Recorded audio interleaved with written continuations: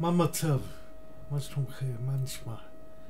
רציתי לספר לכם שאני אוהב לצלם.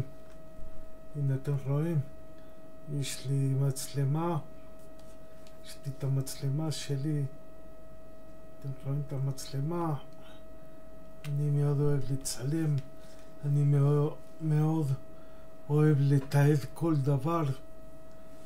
אה, אתמול הייתי מוזמן אצל אנשים, הם הדליקו נר חמישי של חנוכה, צילמתי אותם, וזהו, אני שנים מצלם כל דבר, מה שהייתי צעיר, וזהו, שיהיה לכם יום טוב.